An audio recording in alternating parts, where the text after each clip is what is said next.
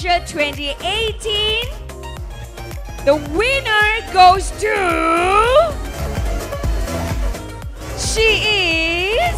Dipersilakan peserta nombor 15, 15, Saraya Mia.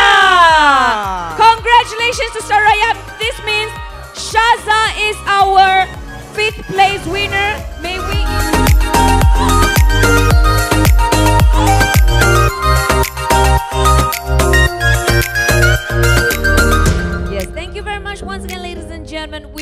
everyone a safe journey home. And of course, we like to wish all of you here a fruitful, wonderful, and successful 2018.